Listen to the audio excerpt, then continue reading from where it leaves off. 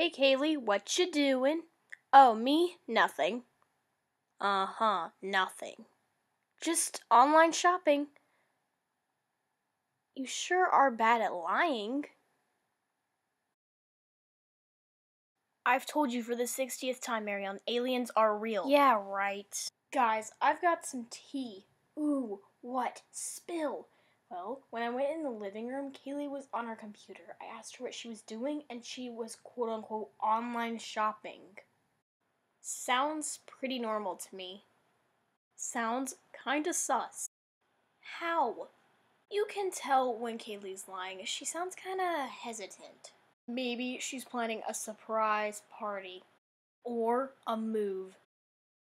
Or maybe she's just online shopping, plus we just moved. Whatever, I guarantee you it's something big. In fact, I bet you $5 it's something big. Deal. Joss, do you know how much you could buy for $5? An item at 5 below? Ugh, come on, have some logic. Not like you have any logic. Ugh, I'm totally winning the bet. What did you say? Oh, uh, look at the time. I should do my homework. But we're on summer break. Still down for that bet? Yeah, because I'm gonna win. In your dreams.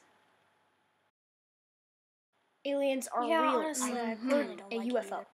I've got some big news. I knew it. I knew it. I won the bet. I won the bet. I'm getting my car washed. Uh, isn't it exciting? Uh, yeah, congratulations.